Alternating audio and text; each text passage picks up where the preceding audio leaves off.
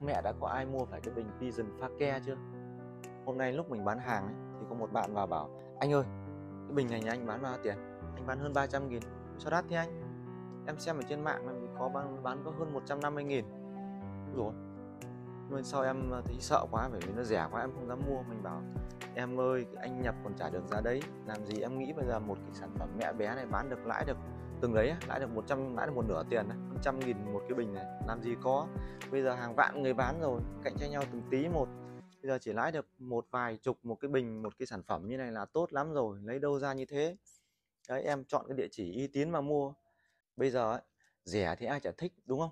Thế nhưng mà chọn cái hãng khác đi cái hãng mà nó không không có bình pha ke không có hàng nhái đừng chọn cái hãng này mà lại rẻ bằng một nửa tiền. Ở đâu cũng thế thôi. Đấy cái clip này mình không là không quảng cáo, không bán hàng gì cả. Đấy, bởi vì mình không đặt link. Các bạn hãy tìm cái nơi uy tín mà mua. Không có cái gì mà rẻ như thế đâu, không có.